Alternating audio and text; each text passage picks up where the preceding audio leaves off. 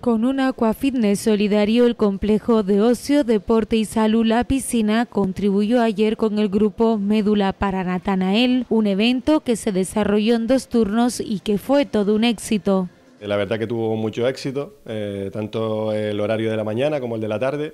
Eh, aproximadamente tuvo una aceptación y un aforo de 25 o 30 personas, con lo cual hubo un total de participación de 60 usuarios y no usuarios de la instalación, que la verdad que se quedaron muy contentos. Y bueno, agradecer por mi parte, como responsable de la instalación,